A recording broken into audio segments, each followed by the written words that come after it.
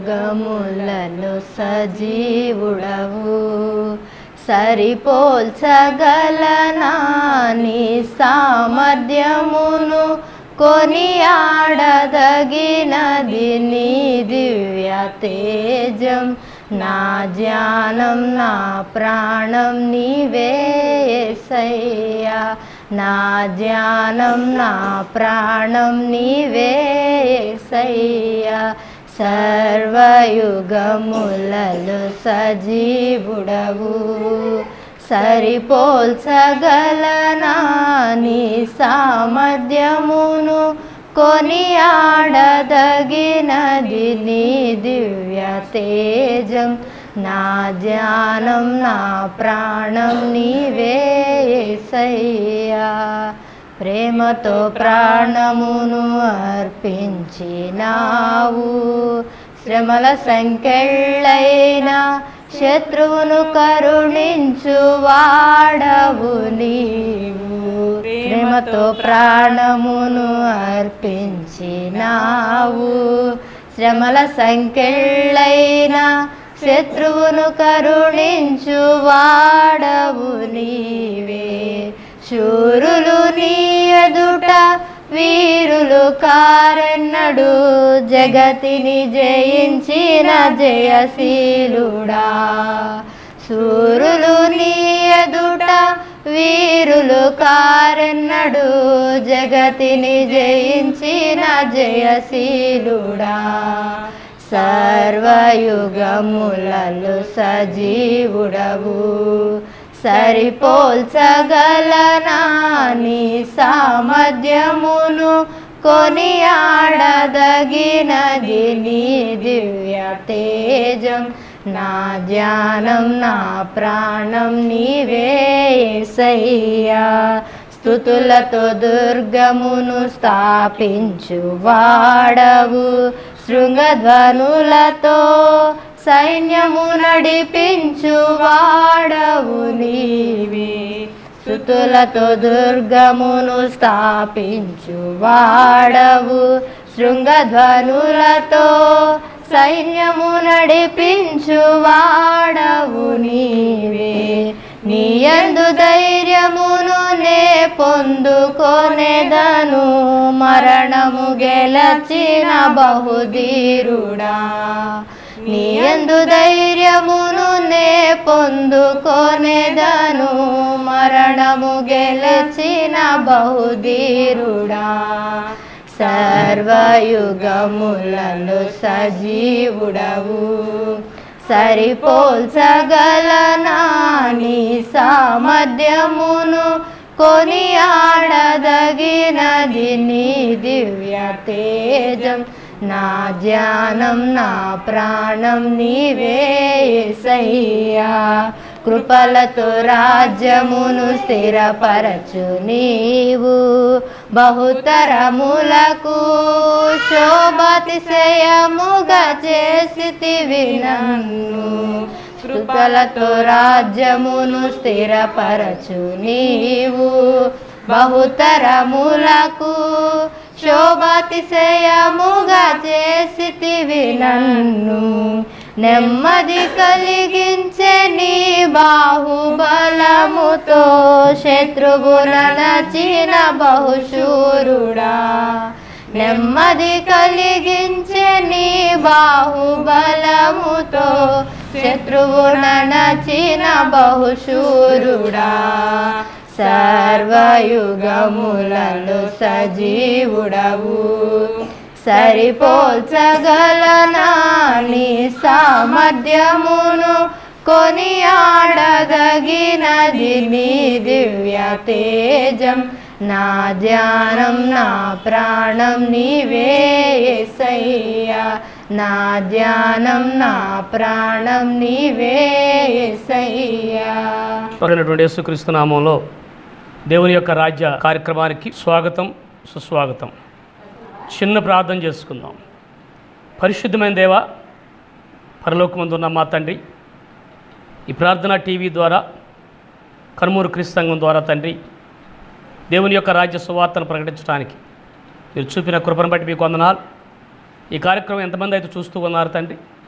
అంతమంది కూడా తండ్రి మేలుకరమైన క్షేమకరమైన ఆత్మీయమైనటువంటి మేలులు పొంది సత్యమందు వారు ప్రతిష్ఠించబడే బిడ్డలుగా ఉండే భాగ్యం దాయిత్యమని మా ప్రభువును రక్షణ నేసుక్రీస్తునామంలో అడిగి వేడుకొంచున్నాం తండ్రి. ఆమెన్.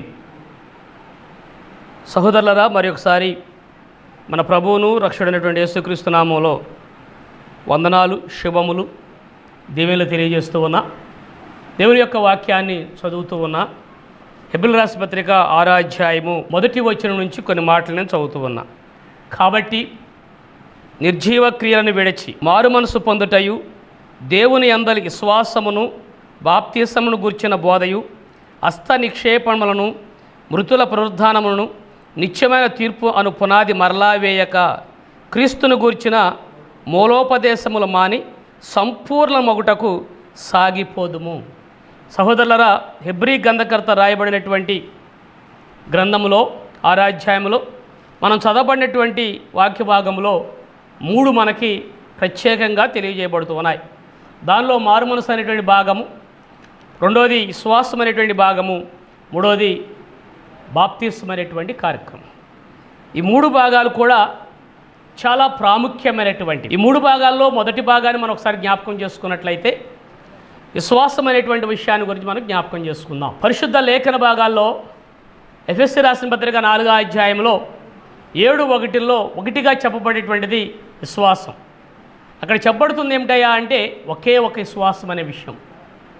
అసలు ఏమిటా ఒకే ఒక విశ్వాసం అనేది తెలియక ఈ లోక సంబంధమైనటువంటి క్రైస్తవ లోకం రకరకాలైనటువంటి గందరగోళంలో ఉండి రకరకాల విశ్వాసంలో జీవిస్తూ ఉన్నారు. ఆ రకరకాలైనటువంటి విశ్వాసాలు పరిశుద్ధ గ్రంథంలో నుంచి వచ్చినాయా? లేకపోయినట్లయితే మానవులు కల్పించినటువంటి అనే విషయాన్ని కూడా ఈ విశ్వాసం అనే భాగములో ముందు ముందు మనం వినబోయేటువంటి భాగాలు మనం నేర్చుకుంటూ ఉంటాం. పరిశుద్ధ గ్రంథాన్ని మనం చదివేటప్పుడు ఒక విషయాన్ని ఖచ్చితంగా మనం నేర్చుకోవాలి. పరిశుద్ధ గ్రంథం అనేటువంటిది పరిశుద్ధాత్మ ప్రేరణ చేత దేవుని చేతే లిఖించబడిందనే విషయం మనం జ్ఞాపకం చేసుకోవాలి. ఎందుకనంటే పరిశుద్ధ గ్రంథాన్ని ఎవరు రాశారు? అనే విషయాన్ని మనం మనసులో ఉన్నప్పుడు మనం వినబోతున్నటువంటి వాక్యము కూడా ఏం వింటున్నామనే విషయం మనకు అర్థమవుద్ది. కారణం ఎందుకనయ్యా అంటే ఒక వ్యక్తిలో విశ్వాసం బలపడాలి అంటే ఖచ్చితంగా దేవుని యొక్క వాక్యము ద్వారా చెప్పబడుతున్నటువంటి మాట ఏమిటయ్యా అంటే రోమిల్ రాష్ట్రపతిగా పదాధ్యాయము పదహారు పదిహేడు వచ్చాలు చూసినప్పుడు కాగా వినుట వలన విశ్వాసము కలుగును ఆ ఇనుట యేసుక్రీస్తు యొక్క మాట వలన అనే మాట మనం చూస్తూ ఉంటాం. అనగా మనం విశ్వాసములో బలపడాలి అంటే యేసుక్రీస్తు ప్రభువారి యొక్క సువార్తను మనం వినాలి. యేసుక్రీస్తు ప్రభువారి యొక్క సువార్తలో అనగా సువార్త అనగా పౌలు గారు కొరింది సంఘంలో చెప్పని రీతిగా క్రీస్తు ప్రభు వారి యొక్క మరణాన్ని గురించి క్రీస్తు ప్రభు వారి యొక్క సమాధి గురించి క్రీస్తు ప్రభు వారి యొక్క శిలువ యాగాన్ని గురించి క్రీస్తు ప్రభు వారి యొక్క పునరుద్ధానం గురించి. దీన్ని సువార్త అంటారు. అంటే యేసుక్రీస్తు ప్రభువారి గురించి మనం ఏం వినాలి? యేసుక్రీస్తు ప్రభువారి యొక్క త్యాగాన్ని గురించి మనం వినాలి? యేసుక్రీస్తు ప్రభువారి లోకంలో జన్మించి విధానాన్ని మనం వినాలి? యేసుక్రీస్తు ప్రభువారి యొక్క శిలువ యాగాన్ని గురించి మనం వినాలి? ఆయన యొక్క సమాధి పునరుద్ధానం గురించి వినాలి. దీని ద్వారా బలపడేటువంటి సువార్త ఏదైతే ఉందో దాన్ని విశ్వాసం అంటున్నాం మనం ఇక్కడ. దాన్ని మనము విశ్వాసం అంటూ ఉన్నాం. కాబట్టి విశ్వాసం అనే దాన్ని నిర్వచనం చదువుదాం ఒక్కసారి. హెబ్రి పత్రిక పదకొండో అధ్యాయము ఆరో వచనం చూద్దాం మొదటి వచనం చదువుదాం ఒక్కసారి. హెబ్రి పత్రిక పదకొండో అధ్యాయము మొదటి వచనం. విశ్వాసం అన్నది నిరీక్షింపబడు వాటి యొక్క నిజస్వరూపమును అదృశ్యమైనవి ఉన్నవనుటకు రుజువునై ఉన్నది. సహోదరులారు ఈ మాట మనం జ్ఞాపకం చేసుకోవచ్చు. విశ్వాసానికి నిర్వచనం ఇది విశ్వాసానికి డెఫినేషన్ ఏమిటయా అంటే విశ్వాసం అన్నది నిరీక్షింపబడు వాటి యొక్క నిజస్వరూపమట. ఈ లోకములో మానవుడు దేని కోసమైతే నిరీక్షిస్తూ ఉన్నాడో ఆ నిరీక్షించేది ఉన్నదని ఆ నిరీక్షించేది ఉండేదని నీవు నమ్మటం నీవు నమ్మటం ఇది విశ్వాసం. ఇది విశ్వాసం. ఈ లోకంలో చాలామంది దేవుడు ఉన్నాడా? ఉన్నాడా రుజువులు రుజువులేమిటి దేవుడు ఉన్నాడనటానికి నీ విశ్వాసం పెరగాలి అంటే దేవుడు ఉన్నాడనటానికి రుజువులు రుజువులేమిటి దేవుడు ఉన్నాడనటానికి రుజువు. ప్రత్యేక రుజువులు ఏం అవసరం లేదు కానీ దేవుడు చేసినటువంటి సృష్టి. ఈ లోకంలో సృష్టి దేవుడి యొక్క దేవుడు ఉన్నాడనటానికి రుజువు. నువ్వు దేవుడు ఉన్నాడనటానికి విశ్వాసంలో పెరగాలి అంటే ఈ లోకంలో దేవుడు చేసిన సృష్టి. దేవుడు చేసిన భూమిని కానీ దేవుడు చేసిన ఆకాశాన్ని కానీ దేవుడు చేసిన సముద్రాలను కానీ దేవుడిచ్చే గాలిని కానీ దేవుడిచ్చే వాతావరణాన్ని కానీ ఇదంతా కూడా దేవుడు చేసినటువంటి సృష్టి. కాబట్టి అవన్నీ కూడా మన యొక్క నిరీక్షణ బట్టి అవి ఉన్నమనడానికి రుజువులు. రుజువులు. దేవుడు ఉన్నాడడానికి రుజువులు. కాబట్టి మన విశ్వాసం అనేటువంటి విషయం మనం జ్ఞాపకం చేసుకున్నట్లయితే విశ్వాసం అనగా నిరీక్షింపడు వాటి యొక్క నిజస్వరూపం అదృశ్యం అంటే కనబడనటువంటివి ఉన్నవనుటకు రుజువునై ఉన్నది. ఏమి కనబడవు మనకి దేవుని యొక్క కార్యాలు? ఏమి కనబడవు? దేవుడు కనబడడు. ఏమి కనబడవు? మనం ఏదైతే నిరీక్షిస్తూ ఉన్నామో పరలోక భాగ్యము ఈ లోకంలో మనకు కనబడకపోవచ్చును ఇవన్నీ ఉన్నవనటకు రుజువుగా ఈ లోకంలో మనలో బలపడేటువంటిదే విశ్వాసము. విశ్వాసము. విశ్వాసాన్ని గురించి చక్కని మాట యోహన్ సువార్త యోహన్ సువార్త మనం గమనిస్తాం. యోహన్ సువార్త ఎనిమిదో అధ్యాయము ఇరవై నాలుగో వచ్చిన చూద్దాం ఒక్కసారి. కాగా మీ పాపములోనే ఉండి మీరు చనిపోదురని మీతో చెప్పి తిని. నేను ఆయననని మీరు విశ్వసించని ఎడలా మీరు మీ పాపములోనే ఉండి చనిపోదురని వారితో చెప్పాను. అనగా ఆయన అని ఆయన ప్రభు అనియు ఆయన మనకు ప్రభువుగా ఉన్నాడనియు క్రీస్తు ప్రభువారు ప్రభువుగా ఉండి మన పరిపాలించేవాడనియు. నీవు నమ్మకపోయినట్లయితే నువ్వు విశ్వసించకపోయినట్లయితే నువ్వు నీ పాపములోనే ఉండి చనిపోతావు. అంటే అర్థం విశ్వాసం ఎంత గొప్పదో చూడండి ఒకసారి. ఈ లోకంలో చాలామంది చెప్పేటువంటి విశ్వాసాన్ని గురించి నేను ఇక్కడ మాట్లాడటం లేదు. విశ్వాసం అనగా క్రీస్తు ప్రభువారు ప్రభు అని నువ్వు నమ్మాలి. అలా విశ్వసిస్తేనే అది విశ్వాసం. అది విశ్వాసం. అలా విశ్వసించినటువంటి విశ్వాసం విశ్వాసం కాదు ఈ లోక సంబంధమైనటువంటి ఒక సిద్ధాంతం కావచ్చు ఈ లోక సంబంధమైనటువంటి ఇకలోక సంబంధమైనటువంటి రకరకాల పేర్లతో పిలవబడేటువంటిది కావచ్చు.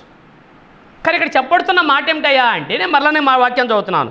నేను ఆయనని మీరు విశ్వసించని ఎడలా క్రీస్తు ప్రభు అని గనక నువ్వు విశ్వసించకపోయినట్లయితే క్రీస్తు ప్రభు అని గనక నువ్వు విశ్వసించకపోయినట్లయితే నీ విశ్వాసం లేనట్లే. అందుకే ఎబ్రి గ్రంథకర్త అంటూ ఉంటాడు పదకొండో అధ్యాయము ఆరో వచనము. విశ్వాసము లేకుండా దేవుడి కృష్ణుడైండుట అసాధ్యం. ఏ విశ్వాసం ఉండాలి నీలో? క్రీస్తు ప్రభు అనేటువంటి విశ్వాసం. క్రీస్తు నా రక్షకుడు అనేటువంటి విశ్వాసం. క్రీస్తు ప్రభు వారు ఈ లోకములో జీవించి నా పాపము నిమిత్తము నీ పాపము నిమిత్తము సిలువ యాగము చేసి సమాధి చేయబడి తిరిగి లేచాడనటువంటి శ్వాసం నువ్వు కలిగి ఉండాలి. అలాంటి శ్వాసము నిన్ను రక్షించేటువంటి శ్వాసం అలాంటి శ్వాసము నిన్ను బలపరిచేటువంటి శ్వాసం అలాంటి శ్వాసము నిన్ను ఆత్మీయంగా ఎదుగుదల చేసేటువంటి శ్వాసం. ఈ లోకంలో మనుషులు చెప్పేటువంటి శ్వాసము కాదు. కారణం ఎందుకనంటే బైబుల్కి ఏదన్నా వ్యతిరేకంగా బోధించబడుతూ ఉందంటే అది ఎక్కువైనప్పటికీ కూడా బైబుల్తో సమానం కాదు కాబట్టి దాన్ని మనం అంగీకరించకూడదు. అదేవిధంగా బైబుల్కు తక్కువగా ఉండేటువంటి మాటలు ఏదన్నా వినిపించినప్పటికి కూడా అది బైబుల్తో సమానము కాదు కాబట్టి దాన్ని కూడా మనం అంగీకరించకూడదు. దాన్ని కూడా మనం అంగీకరించకూడదు. కాబట్టి విశ్వాసమైనటువంటి విషయాన్ని మనం జ్ఞాపకం చేసుకున్నప్పుడు యోహన్ సువార్త ఎనిమిదో అధ్యాయం ఇరవై నాలుగు వచ్చినలో మరల నేను చదువుతాను ఒక్కసారి నేను ఆయనని మీరు విశ్వసించకపోయినట్లయితే నేను ఆయనని మీరు విశ్వసించకపోయినట్లయితే చూడండి యోహన్ సువార్త ఇరవై అధ్యాయము యోహన్ సువార్త ఇరవై అధ్యాయము ఇరవై తొమ్మిదో వచ్చిన నేను చదువుతాను ఒక్కసారి. ఇరవై అధ్యాయం ఇరవై తొమ్మిదో వచ్చిన యేసుక్రీస్తు ప్రభు వారు మాట్లాడిన మాట యేసు నీవు నన్ను చూచి నమ్మితివి. జాగ్రత్తగా గమనించండి. నీవు నన్ను చూచి నమ్మితివి చూడక నమ్మిన వారు ధన్యులని అతనితో చెప్పాను. తోమాతో జరిగినటువంటి సంఘటన తోమా యేసుక్రీస్తు ప్రభు వారు తెలియవేసిన తర్వాత ఆయన తిరిగి లేచిన తర్వాత వచ్చినప్పుడు ఆయన వ్రేలు తీసుకుని ఆ వ్రేలు ఎక్కడైతే బల్లెపోటు పొడబడిందో ఆ ఏలు ఇదిగో బల్లిపోటు ఇక్కడ పొడిచారు కదా అని చూస్తే నమ్మాడు ఆయన. కానీ నువ్వు ధన్యుడు కాదు నువ్వు దేవుని యొక్క ఆశీర్వాదం పొందేటువంటి వాడవు కాదు. ఆయన అన్నమాట ఏమిటయ్యా అంటే నీవు నన్ను చూచి నమ్మితివి చూడక నమ్మిన వారు ధన్యులను అతనితో చెప్పాను. కాబట్టి చూసి విశ్వాసం పొందటము కాదు చూడక నమ్మినటువంటి వారు. ఒకసారి మనం జ్ఞాపకం చేసుకున్నట్లయితే యేసుక్రీస్తు ప్రభువారు సిలువ యాగము చేయబడ్డాడు. సిలువలో నలగొట్టబడ్డాడు. సిలువలో బళ్ళెప్పోడు పొడిపించుకున్నాడు. యేసుక్రీస్తు ప్రభువారు సిలువలో అనేక విధాలుగా కొరడాల్చే దెబ్బలు తిన్నాడు. అనేక రక్తము చిందించబడింది. తన యవ్వన రక్తం ప్రతి ఒక్క రక్తపోటును కూడా కార్చాడు ఆయన. కానీ అది మనం చూడలా. ఈ లోకములో ఉన్నటువంటి ఈ తరం వారు మనం చూడలా. మనం చదువుతూ ఉన్నాం. మనం చదువుతూ ఉన్నాం. కాబట్టి అంటున్నాడు అక్కడ ఆయన నేను ఆయనని నీ కొరకు సిలువ యాగము చేసిన యేసునని నువ్వు నమ్మకపోయినట్లయితే నీ విశ్వాసం అర్థం. విశ్వాసం అంటే అర్థమే అది అదృశ్యమైనవి. ఉన్నవనటకు రుజువునై ఉన్నది. విశ్వాసం అనేటువంటి దానికి నిర్వచనం. విశ్వాసం అనే దానికి నిర్వచనం. అలాంటి విశ్వాసం మనం కలిగి ఉన్నప్పుడు ఆత్మీయంగా బలపడతాం. ఆత్మీయంగా ఎదుగుతాం. కారణం ఎందుకనంటే నీకు విశ్వాసము కలగాలి అంటే మొదట క్రీస్తు ప్రభు వారి గురించి తెలుసుకోవాలి. క్రీస్తు ప్రభు వారి యొక్క స్థితిని గురించి క్రీస్తు ప్రభు వారి యొక్క ఈ లోకంలోకి రావడానికి పరిస్థితుల గురించి క్రీస్తు ప్రభు వారి యొక్క సిలువ యాగం గురించి ఆ సువార్తను మనం విన్నప్పుడు ఖచ్చితంగా మనము విశ్వాసములో బలపడతాం. ఈ లోకములో మానవుల యొక్క పరిస్థితి మనం గమనించినప్పుడు ఒక వ్యక్తి ఈ లోక సంబంధమైనటువంటి డాక్టర్ చదివిన వ్యక్తి ఆ డాక్టర్ కోర్సుల గురించి బాగా ఇంటూ ఉన్నాడు అనుకోండి దానిలో బలపడతాడు. మరి ఒక వ్యక్తి రాజకీయాల గురించి ఉన్నాడు అనుకోండి దానిలో పట్టభద్రుడు అవుతాడు దానిలో బాగా ఎదుగుతాడు. కానీ దే క్రీస్తు ప్రభువారిలో నువ్వు ఎదగాలి అంటే ఒకే ఒక విశ్వాసములో ఉండాలి. ఒకే ఒక విశ్వాసములో ఉండాలి. ఏమిటా విశ్వాసమయ్యా అంటే క్రీస్తు ప్రభు అని నీ నోటితో ఒప్పుకొని నీ హృదయములో విశ్వసించేటువంటి విశ్వాసం. హృదయములో విశ్వసి ఈ క్రీస్తు ప్రభువుని నువ్వు ఎలా ఒప్పుకుంటావు? క్రీస్తుని గురించి తెలుసుకోవటం ద్వారా క్రీస్తుని గురించి బాగా ఎరగటం ద్వారా దేవుని యొక్క వాక్యాన్ని బాగా చదవటం ద్వారా ఆ విధంగా నువ్వు బలపడతావు. ఈ లోకంలో చాలామందిని క్రీస్తుని రకరకాల రూపంలో చూపిస్తూ ఉంటారు. తన వ్యక్తిగతమైన వ్యక్తిగతమైన విషయాల గురించి చూపిస్తూ ఉంటారు. ఒక మనిషిని పోలి క్రీస్తు ప్రభు చెప్పేటువంటి వారుగా ఉంటారు. లేదా ఆ మనిషి యొక్క మనిషి యొక్క జీవితాన్ని క్రీస్తు ప్రభు వారిగా చూపించుకునేటువంటి వాళ్ళు కూడా ఉంటారు. ఎక్కడ కూడా యేసుక్రీస్తు ప్రభు వారు కానీ ఎంతో భయం బలమైనటువంటి సువార్త ప్రకటించినటువంటి పౌలు గారు కానీ ఎక్కడ యేసుక్రీస్తు ప్రభు వారిని మరి ఒకరితో పోల్చలా మరి ఒకరితో పోల్చలా? కాబట్టి సహోదర సహోదరులరా మనము విశ్వాసంలో బలపడాలి అంటే మొదట మనం చేయవలసింది ఏమిటయ్యా అంటే ఖచ్చితంగా దేవుని యొక్క వాక్యాన్ని వినాలి. దేవుని యొక్క వాక్యాన్ని వినాలి. విన్నప్పుడు మాత్రమే అదృశ్యమైన ఉన్నవేంటి యేసుక్రీస్తు ప్రభువారంటే ఏంటి? యేసుక్రీస్తు ప్రభువారి యొక్క సువార్త ఏమిటి? ఇది మనకు అర్థమవుద్ది. ఇది మనకు అర్థమవుద్ది. పరిశుద్ధ గ్రంథములో మత్స్సువార్ పదిహేను అధ్యాయము తొమ్మిదో వచ్చిన చదువుతున్న ఒక్కసారి. వేషధారులారా ఏడవ వచ్చిన కూడా చెప్తున్నాడు అక్కడ. ఏడవ వచ్చిన ఈ ప్రజలు తమ పెదవులతో నన్ను గణపరచుదురు కానీ వారి హృదయము నాకు దూరముగా ఉన్నది. మనుషులు కల్పించిన పద్ధతితో దైవోపదేశమును బోధించుచు వారు నన్ను వ్యర్థముగా ఆరాధించున్నారు అని విషయం మిమ్మల్ని గురించి ప్రవచించిన మాట సరియే అని వారితో చెప్పింది ఇక్కడ మనం జ్ఞాపకం చేసుకోవాలి. విశ్వాసములో బలముగా లేకపోతే మన హృదయాలు క్రీస్తు ప్రభు వారికి దూరంగా ఉంటాయి. జాగ్రత్తగా గమనించండి. ఈ లోకంలో నీకు ఇష్టమైనటువంటి వ్యక్తి ఎవరన్నా ఉంటే హృదయం నిండా ఇష్టమైన వ్యక్తే ఉంటాడు. ఎందుకనంటే ఆ ఇష్టమైన వ్యక్తి గురించి నీకు కొన్ని విషయాలు మెరిట్గా కొన్ని విషయాలు డిమెరిట్గా తెలుస్తాయి కాబట్టి. కానీ ఇక్కడ మనం గమనించాల్సింది అదే యేసుక్రీస్తు ప్రభు వారి గురించి సంపూర్ణంగా నువ్వు ఎరిగితే యేసుక్రీస్తు ప్రభు వారి గురించి బలంగా నువ్వు తెలుసుకుంటే యేసుక్రీస్తు ప్రభు వారి గురించి బలమైనటువంటి సువార్తను వింటే ఖచ్చితంగా నీ హృదయము క్రీస్తు ప్రభు వారితో కలిసి ఉంటుంది దూరంగా ఉండదు. మన హృదయం క్రీస్తు ప్రభు వారికి దూరంగా ఉండడానికి గల కారణం ఏమిటయ్యా అంటే ఈ రోజున క్రీస్తు ప్రభు వారి మీద కన్నా కూడా వ్యక్తుల మీద మనుషుల మీద బోధించే వారి మీద బోధకుల మీద ఎక్కువ. దాని మూలంగా ఏమవుతుందయ్యా అంటే ఎవరు మహిమపరచబడుతున్నారయ్యా అంటే ఈ లోకములో మనుషులు మహిమపరచబడుతున్నారు కానీ క్రీస్తు ప్రభు వారు మహిమపరచబట్ల తల్లి సహోదర సహోదరులరా మన హృదయంలో క్రీస్తు ప్రభు వారు ఉండాలి అంటే నువ్వు విశ్వాసములో బలపడాలి. నీ హృదయం క్రీస్తు ప్రభు వారికి దగ్గరగా ఉండాలి అంటే నువ్వు క్రీస్తు ప్రభు వారి గురించి తెలుసుకునేటువంటి సహోదరి సహోదరువిగా నీవు ఉండాలి. క్రీస్తు ప్రభు వారి గురించి నువ్వు ఎంతగా వింటావో క్రీస్తు ప్రభు వారి గురించి నువ్వు ఎంతగా తెలుసుకుంటావో అంతగా నువ్వు విశ్వాసములో బలపడతావు. అంతగా నువ్వు విశ్వాసములో ఎదుగుతావు.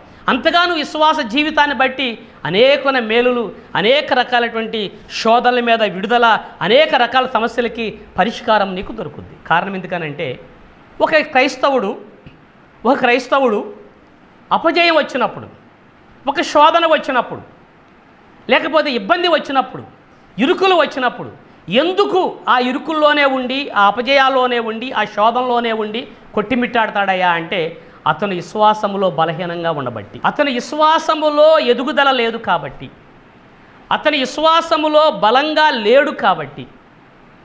కాబట్టి మనం గమనించాల్సింది ఏమిటయ్యా అంటే యేసుక్రీస్తు ప్రభు వారు అనేక మందిని స్వస్థపరిచాడు పరిశుద్ధ గ్రంథంలో. సుమారుగా ముప్పై ఐదు చోట్ల ఆయన స్వస్థ కార్యాలు నాలుగు సువార్తల్లో కనిపిస్తాయి. ఈ నాలుగు సువార్తల్లో యేసుక్రీస్తు ప్రభు వారు చెప్పిన మాట ఒకే ఒక్క మాట. అని చెప్పిన మాట ఏమిటయ్యా అంటే కుంటివాడికి కాళ్ళు ఇచ్చినా గుడ్డివారికి చూపించినా చనిపోయినటువంటి వారిని లేపినా లేదా పది ప- పది మంది కుష్ఠరోగుల్ని స్వస్థపరిచినా ఆయన అన్నది ఒకే ఒక్క మాట. మీ విశ్వాసమే మిమ్ములను. అంటే స్వస్థత లేకపోతే అపజయము లేకపోతే శోధనలు లేకపోతే ఇబ్బందులు ఇరుకుల్లో మనము సమాధానంగా ఉండాలి అంటే సంతోషంగా ఉండాలి అంటే విశ్వాసములో బలపడాలి. విశ్వాసములో ఎదగాలి. విశ్వాసములో ఎదగాలి. నువ్వు విశ్వాసములో ఎదిగినప్పుడు మాత్రమే నువ్వు ఇలాంటి వాటి మీద జయాన్ని పొందుతావు. ఇలాంటి వాటి మీద జయాన్ని పొందుతావు. పౌలు గారికి ఒక ముళ్ళును దేవుడు పెట్టాడు. ముమ్మారు ప్రార్థన చేశాడు. ముమ్మారు ప్రార్థన చేస్తే పౌలు గారికి వచ్చిన రిప్లై ఏమిటి జవాబు ఏమిటయ్యా అంటే నా కృప నీకు చాలు. దాని అర్థం ఏమిటంటే నువ్వు విశ్వాసములో బలపడితే నీ ఎడల దేవుని కృప ఉంటుంది. నువ్వు విశ్వాసములో ఎదిగితే నీడల దేవుని యొక్క సంకల్పం ఉండి దేవుడు దేవుడు నిన్ను గుర్తుపడతాడు. దేవుడు మనకు తెలియటం కాదు గుర్తుంచుకోండి. నాకు యేసుక్రీస్తు ప్రభు వారు తెలుసు బైబిల్ చదువుతాను కాబట్టి. ఇది గొప్పతనం కాదు. ఇది గొప్పతనం కాదు. ప్రతి వారు కూడా వాళ్ళు ఏంటయ్యా అంటే యేసు గురించి నాకు తెలుసు బైబిల్ గురించి నాకు తెలుసు సువార్త ప్రకటించడం నాకు తెలుసు. కానీ నీ గురించి యేసు ప్రభు వారికి తెలుసా? నీ గురించి యేసుప్రభు వారు ఆలోచన చేస్తూ ఉన్నాడా? నీ గురించి యేసుప్రభు వారు విజ్ఞాపన చేస్తూ ఉన్నాడా? అది ముఖ్యం. మనకు తెలుసు బైబిల్ ఉంది కాబట్టి.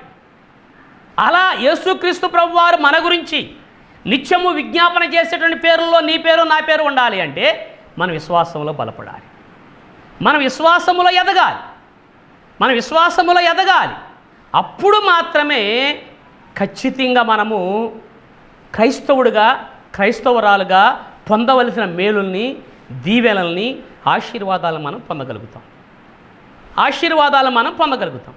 కాబట్టి ఆలోచన చేయి ఒకసారి క్రైస్తవ సహోదర సహోదరుడా. నువ్వు విశ్వాసములో క్రీస్తుని గురించినటువంటి విశ్వాసములో ఉన్నావా? క్రీస్తుని గురించి తెలుసుకుని విశ్వాసంలో ఎదుగుతూ ఉన్నావా? మనుషుల యొక్క కల్పన కథలు కట్టుకథలు ద్వారా విశ్వాసాన్ని డెవలప్ చేసుకుంటున్నావా? చాలామంది లోకంలో నీ విశ్వాసం ఎలా బలపడిందయ్యా అంటే ఫలానా వ్యక్తిని చూసి నేను విశ్వాసంలో బలపడ్డానండి. వెరీ గుడ్ కానీ రేపొద్దున అదే వ్యక్తి పాడైపోయి బజార్లమ్మడి తిరుగుతూ ఉంటాంటే నువ్వు చెప్పే సమాధానం ఏమిటయ్యా అంటే అంతటి వాడే పడిపోయి ఎలా అయిపోతే నాదే ఉందండి కాబట్టి పౌలు గారు ఒక చక్కని మాట అంటూ ఉంటాడు. పౌలు గారికి కూడా అనేక మంది వచ్చి ఆయన అడిగారు. ఏమని అడిగారయ్యా అంటే అయ్యా మేము ఎలా నడుచుకోవాలి విశ్వాసంలో? ఆయన అన్న మాట ఏమిటయ్యా అంటే నేను క్రీస్తుని పోలి నడుచుకుంటున్నాను మీరు నన్ను పోలి నడుచుకోనుడి. నేను క్రీస్తుని పోలి క్రీస్తులో ఉన్న గుణాలను పోలి క్రీస్తులో ఉన్న ప్రవర్తనను పోలి క్రీస్తులో ఉన్న మాట తీరును పోలి క్రీస్తులో ఉన్నటువంటి నడవడికను పోలి క్రీస్తు యొక్క జీవన విధానం ఎలా జరిగిందో ఆ విధంగా నేను నడుచుకుంటున్నా. మీరు నన్ను పోలి నడుచుకోండి. విశ్వాసంలో బలపడేటువంటి వారు క్రైస్తవులుగా ఉండేటువంటి వారు విశ్వాసులు ఆ విధంగా ఈ లోకంలో ప్రయాణం చేయవలసిన ఆవశ్యకత ఉన్నది. మన గోల్ రీచ్ అవ్వాలి అంటే నీ గమ్యం చేరాలి అంటే క్రైస్తవుడిగా క్రైస్తవురాలుగా నీకు ఒక గమ్యం ఉంటుంది. నీ కుటుంబాన్ని గురించో నీ బిడ్డల గురించో నీ కుటుంబం బలపడటం గురించో నీ బిడ్డలు బలపడటం గురించో ఒక గమ్యాన్ని నువ్వు చేరాల్సిన ఆవశ్యకత ఉంటుంది. కాబట్టి ఆ గమ్యము చేరాలి అంటే నువ్వు విశ్వాసములో బలపడాలి. నువ్వు విశ్వాసములో ఎదగాలి. అలా విశ్వాసములో ఎదిగినప్పుడు మాత్రమే క్రీస్తు ప్రభు వారి ద్వారా తండేటువంటి దేవుడు నీకు అనేకల మేలులు చేయడానికి అవకాశం ఉంటుంది. పరిశుద్ధ గ్రంథంలో ఒక మాట నేను జ్ఞాపకం చేస్తూ ఉన్నా. యోహన్ సువార్త మూడో అధ్యాయము పద్దెనిమిదో వచనం. ఆయన ఎందు విశ్వాసముంచు వానికి తీర్పు తీర్చబడదు. ఆయన యందు అంటే క్రీస్తునందు విశ్వాసం ఉంచేవాళ్ళండి క్రీస్తునందు అనే పదం పరిశుద్ధ లేఖన భాగాల్లో కేవలం సువార్తల్లో రెండు వందల తొంభై ఎనిమిది సార్లు ఉంటుందండి. క్రీస్తునందు ఉండేవాడు క్రీస్తునందు విశ్వాసం ఉంచాలి. మనుషుల ఎందు కాదు సిద్ధాంతాల ఎందు కాదు ఈ లోక సంబంధమైన మనుషుల యొక్క మాటల ఎందు కాదు ఈ లోకల మనుషులు కల్పించిన పద్ధతుల ఎందు కాదు. క్రీస్తునందు విశ్వాసం ఉంచాలి. ఆయన అంటున్నాడు అక్కడ విశ్వసింపని వాడు దేవుని అద్వితీయ కుమారుని నామమందు విశ్వసింపలేదు కనుక వానికి ఇంతకు మునిపే తీర్పు తీర్చబడెను. విశ్వాసం ఉంచేవాడికి తీర్పు లేదు. ఎవరి ఎందు విశ్వాసం ఉంచేవారికి ఆయన అంది విశ్వాసం అందుకే ఒకే ఒక శ్వాసం అని పౌలు గారు ఎఫ్ఎస్సి రాసిన పత్రిక నాలుగో అధ్యాయము నాలుగో వచనంలో చెప్పబడింది. కాబట్టి సహోదర సహోదరులరా విశ్వాసం అనేటువంటిది క్రైస్తవునికి ప్రామాణికమైనటువంటి అంశం బలమైనటువంటి అంశం ప్రాథమికమైనటువంటి అంశం. విశ్వాసములో తప్పిపోకుండా ఉండాలి అంటే బలముగా నువ్వు దేవుని యొక్క వాక్యాన్ని వినాలి. బలముగా దేవుని యొక్క వాక్యాన్ని చదవాలి. బలముగా దేవుని యొక్క వాక్యాన్ని నేర్చుకోవాలి. అప్పుడు మాత్రమే మనము బలమైనటువంటి విశ్వాసములో ఎదగలుగుతాం. కాబట్టి ఈ మాటలను బట్టి విశ్వాసములు మీరందరూ కూడా బలపడాలని కోరుకుంటూ మీ అందరికీ మరొకసారి వందనాలు తెలియజేస్తూ చిన్న ప్రార్థన చేసుకుందాం. పరిశుద్ధమైన దేవ పరలోకమందున్న మా తండ్రి విశ్వాసం అనేటువంటి అంశం ద్వారా తండ్రి ఇప్పటి వరకు మీరు మాట్లాడిన మాటలను బట్టి తండ్రి మీకు వేలాది స్థుతులు స్తోత్రాలు చెల్లిస్తున్న తండ్రి. తండ్రి ఈ యొక్క నీ కుమారుడైన క్రీస్తునందు శ్వాస ఉంచేటువంటి వాడు తీర్పు తీర్చబడ్డని. నీ కుమారుని యొక్క ఇందు శ్వాస ఉంచేవాడే విశ్వాసి అని అదే ఒకే ఒక విశ్వాసమని ఆ విధంగానే మా హృదయంలో కానీ మా నోటి ద్వారా కానీ విశ్వసించేటువంటి వారముగా ఉండాలని అనే మాటలు మేము విన్నాం. ఆ మాటలు ప్రతివారి హృదయంలో భద్రపరచబడి ఆత్మీయంగా ఎదగటం ద్వారా ఆత్మీయంగా బలపడటం ద్వారా తండ్రి. ప్రతి ఒక్కరూ సంతోషంగా ఆనందంగా ప్రతి కుటుంబం కూడా తండ్రి ఆశీర్వాదకరంగా మార్చబడే కుటుంబాలుగా ఉండే భాగ్యాన్ని దాయిచ్చేయమని మా ప్రభువును రక్షణ యేసుక్రీస్తు నామంలో అడిగి వేడుకొంచున్న ఆమె తండ్రి. ఆమెన్. అందరికీ వందనాలు.